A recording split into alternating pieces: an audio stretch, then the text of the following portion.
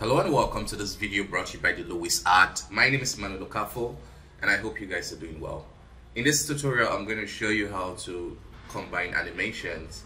That's basically a run animation and a walk cycle animation using the Pupa add-on. So if you don't know what Pupa add-on is, it is a Blender add-on that allows you to quickly create rigs and animation.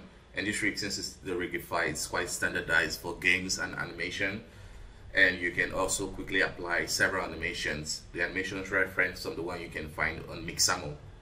Okay, so you can check it out for yourself. It's um, well documented, um, documented with a lot of tutorials that you can work and start working with. So the link will be in the description in case you want to check it out. But for this uh, tutorial, I'm just going to show you how to combine multiple animations. So um, you can go ahead and bring up your timeline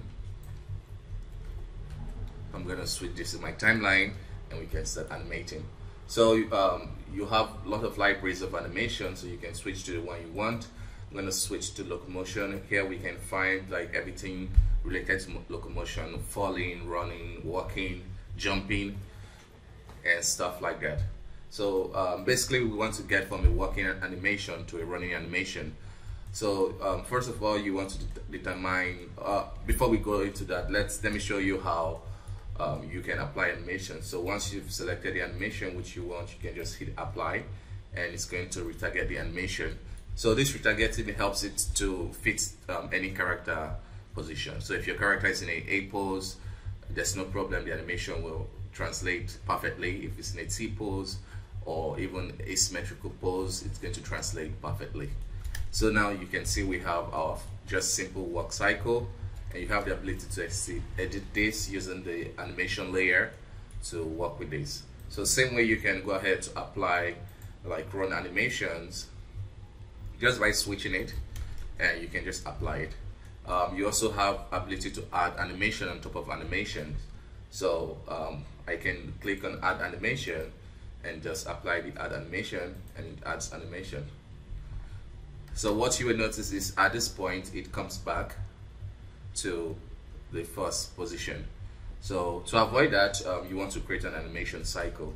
So for that, you want to enable the stay in place um, checkbox here. This allows you to just create animation cycles, then you can make it as much as you want. So um, now I can go ahead and apply the run animation. And you can see it's staying in place right now. And we can click on add an, another animation and it applies animation and, and the timeline adjusts accordingly. So we have like the run animation in place. And you can just edit this you can move this and animate this as you want. Okay so this tutorial is actually inspired from a question from one of the person that purchased this add-on. He's using it for a project. He wanted to know how to combine a walk animation to a running animation. Um, so um, it's quite easy. So um, you can just go ahead and search for walk and you have everything related to work. And get also note that if you click on all you you will have more options because it's going to reference um, more from superhero sport miscellaneous. So if you want to get more um, working animations you can just use all. Well we can just use locomotion to select one quickly. So I'm going to select this um, I'm just getting with normal walk so I'm going to apply the animation and we have the walk animation so I will also put the add animation and then do that.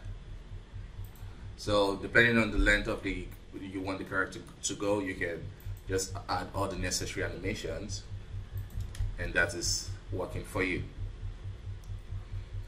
Okay, so now if you want to add the run animation, it's as easy as locating the run animation. And now I'm just adding it and it's going to add it after the walk animation. So you, at this point, you can even move the time like these keyframes in case you want to have like some, if you want to even add your own transition in the middle, um, that's quite easy to do.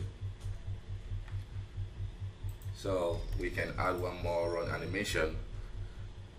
Okay, so for animated, for moving this, so it can, it's kind of moving forward, you can manually animate it yourself or you can use curves. Um, but for this I'm just going to manually animate it. So I'm going to insert keyframe here. And at this point this is where he's gonna stop working. So just move it forward and we'll check to make sure it's looking natural. Um, to avoid it to start slow and kind of speed up we want it to have like a linear motion. So we can click on T to set this to linear. So we have like constant speed okay so at this point he starts running.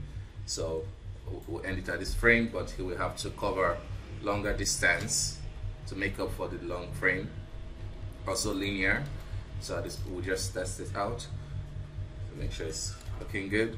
So we can increase this to even make it cover more speed.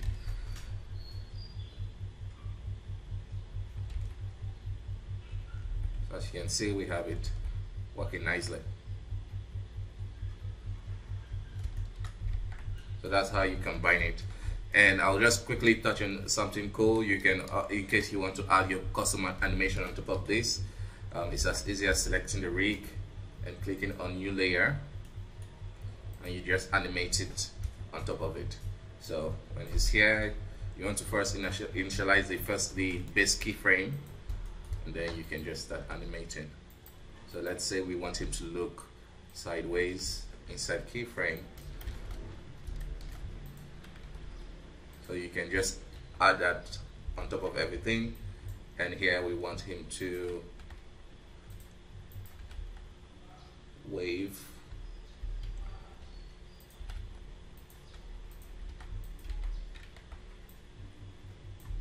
So once you're done you can just select this first keyframe and just place it here in case you want to go to the go back to the initial pose and then everything works.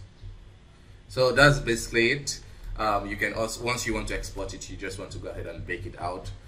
Um, so into one animation. So everything is pretty much set. I hope this was informative. If you have any questions, let me know in the, in the comment. And check this out for yourself. This is a really powerful tool and that will, that will really speed, speed up time for you and really save you a lot of time and money. Um, okay, so bye bye for now. See you next time.